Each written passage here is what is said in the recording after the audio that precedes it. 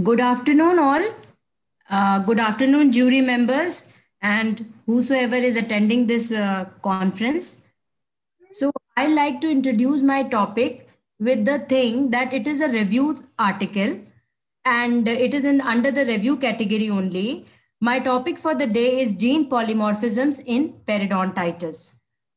So as we all know that long back around 20 years back, the Human Genome Project had started and it, the entire human genome was decoded in year 2003.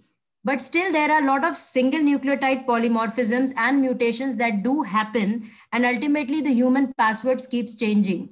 So we need to decode it every time to find out where the single nucleotide polymorphisms are happening in different races and to find out that how uh, a domain or a, uh, like any disease is being linked to this uh, polymorphisms. Next slide, please. The Human Genome Project, which was the first international scientific research project, and it was one of the world's largest collaborative biological project, started in year 1984, and by US government, it was funded in year 1990.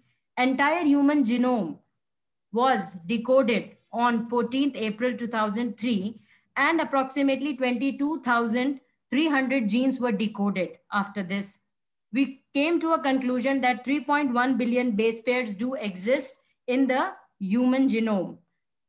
And finally, after this entire project was over, there was a lot of race among the humans to find out that which gene is being or what are the candidate genes which can be linked to the various diseases. And we can enter a new era where a gene therapy can be given. Next slide, please. I would like to talk about the genetic polymorphisms, that what actually are they? It refers to the occurrence of two or more genetically determined phenotypes in a certain population in proportions that are the rarest of the characteristics cannot be maintained just by recurrent mutations. So actually it is 1% of the population, whatever changes we can see, and mutation is something which is very less and sudden in onset. Next slide, please. I like to talk about the disease since this disease I'm trying to link with the different single nucleotide polymorphisms. This is a periodontitis disease and how it occurs. So whenever there is a bacterial attack to the periodontium, periodontium includes four tissues, that is the gingiva, alveolar bone, periodontal ligament. So whenever there is a destruction which happens because of the plaque accumulation, there is a breakdown of the periodontal ligament and there is a loss of bone. Therefore, you can see that instrument penetrating and leading to the clinical attachment loss. Next slide, please.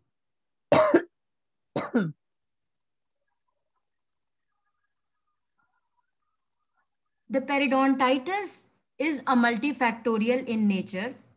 It is related to the microflora. It is related to adipose adipocyte inflammation production. It is related to the various dietary factors and most importantly, it is related with genetics and the environmental factors. Above all, uh, I will like to stress on this point that recently our periodontitis, which was previously, it was categorized into chronic and aggressive and periodontitis manifestation of systemic diseases. Actually, there are three categories for periodontitis, but now everything has changed to periodontitis in year 2017 by a author Tonetti and the various uh, periodontists across the world. They collaborated and they came to a conclusion that periodontitis can only happen because of the pathogenic microflora. So here you can see that uh, there is a pathogenic oral microflora that is nothing but the plaque which keeps accumulating for over the ages and that leads to the inflammation and the host inflammatory factors also play a role in the periodontal destruction. Next slide, please. So together, everything will lead to the periodontitis. That means the breakdown of the periodontal ligament. So the new, this is the new classification, which is based on the staging and grading. It all, it's been divided into severity, complexity, and the extent and the distribution of it. The periodontitis, it is divided into stage one, two, three, and four, depending upon the clinical attachment loss, radiographic bone loss, depending upon the local, uh, local uh, things like the probing depth, and also it also depends on the number of the teeth which are involved. I will not like to go into the details of it because there are other things which also needs to be included. Next, please.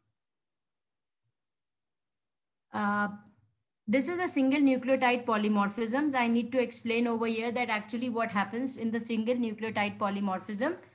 This single nucleotide polymorphism is actually whenever there is a single like adenine or a guanine gets replaced by another like supposing adenine is replaced by guanine then guanine always pairs with the cytosine so cytosine will come into the place so ultimately what happens is once the base pair changes protein, that is the gene which is coding a particular protein will also get changed. So for, because of this one polymorphic change, the entire protein can get changed and it can affect the phenotype. So this is how a genotype can affect a phenotype of an individual. Next slide, please.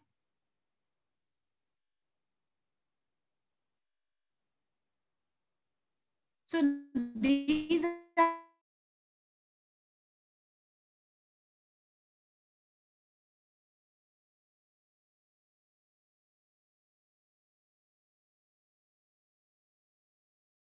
is since this is a meta-analysis which I am uh, which has been done by different authors, therefore they have done on the basis of the previous classifications only. And here you can see the analysis done by Silva et al. who had demonstrated at the position minus 889 that a cytosine replaces the thymine polymorphism was significantly associated with a higher risk of chronic periodontitis another thing which they also found, which is which is actually linked with the periodontitis so far. Excuse me. Uh, th that was plus 3954 in interleukin 1 beta gene. Excuse me, the slides are changing. Uh, can I share my own screen?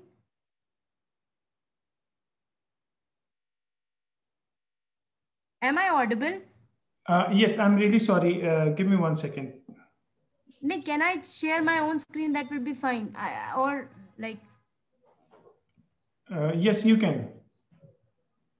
Just a second. Although if you are comfortable, uh, is, is, uh, this came again. Yeah, it is now. Uh, is it visible? Yes. Hello, now is it visible? Yes, yeah. you go ahead. It is visible oh. and audible also. You go yeah, ahead. Thank you so much, sir. So plus 3954C by T in interleukin 1 beta gene is not significantly associated with the risk of developing either chronic or aggressive. But these all changes are actually depends on the ethnicity of an individual again Coming to the interleukin 4, which is actually a pro-inflammatory cytokine, is capable of inducing apoptosis of osteoblast and thus contributing to the progression of alveolar bone loss. Here again, minus 590 and minus 33 uh, C by T uh, is related to the, these are the single nucleotide polymorphisms. And in the German, Brazilian, and Chinese, uh, these populations were found to be associated with the disease that is periodontitis. Interleukin 6 is a potent mediator again for the bone resorption and is capable of stimulating macrophages and osteoclasts with increased tissue damage in both types of the periodontitis. That means the chronic and aggressive both. Coming to another, that is the interleukin 8. In the meta-analysis, it was found that the risk is still controversial whether it can be linked or not, because in one population it was more, that is in the Brazilian, and in Asians it was found that it is more. Uh, this was a meta-analysis done by the Chen et al. Interleukin 10, which is a suppressor cytokine that regulates negatively the immunological response of monocytes and macrophages. So when minus 592 C by A polymorphisms was found, it was found that it was associated with high risk of disease development in the population. Coming to interleukin 18, meta-analysis done by the Lee et al. He also found that there was a significant association of polymorphisms with a high level of cytokine in the plasma of the patients with the disease when compared to the controls. Next slide, please. Now we are coming to something called as a FC gamma R receptors, which are very important for us as a periodontist since these can these are being linked to uh, the disease. Fc gamma r receptors which are of three types 1a 2a and um, 3a so here they have found that these are also related to the uh, periodontitis. However fc gamma r3a receptor was not found associated with the periodontitis. Coming to the inflammatory mediators that is cox2 and mmp2 mmp3 8 and 9 genes, the meta-analysis was done and there was no significant association which was found between the COX-2 gene and periodontitis. However, they have found that still this more studies and a long-term studies uh, or genome-wide studies needs to be done to found and find an uh, appropriate association. Recently, there was a meta-analysis done by Shao in which he tried to find out that whether beta defensin 1 can be linked to the periodontitis. So the meta-analysis says that, uh, which is actually, it is the gene is located on chromosome 8. It was found that it cannot be linked to the periodontitis. Next slide, please. So how are these single nucleotide polymorphisms can be linked to the forensics? There are microsatellite repeats polymorphisms which are actually four to five nucleotide repeats through genome, used frequently in forensic genetics lab. Forensic genetics need additional markers in some conditions where STR analyses are insufficient, such as a DNA degradation after environmental exposure, paternity analysis or kinship analysis after close relatives marriage and absence of suspect for comparison after criminal cases. SNPs are broadly used in clinics for genome-wide association studies of complex disorders and linkage analysis, studies of a single gene disorders. So the presence of millions of SNPs in our DNA sequence means that SNPs can be used for distinguishing people in forensic cases because of the amplicon length in the short that is 100 to 200 base pairs is only required and after PCR reaction of SNP analysis, SNPs can provide more information than STR analysis, especially in the presence of the degraded DNA. Next slide. Next slide, please. So these are my references. And um, I thank you all for your patient listening.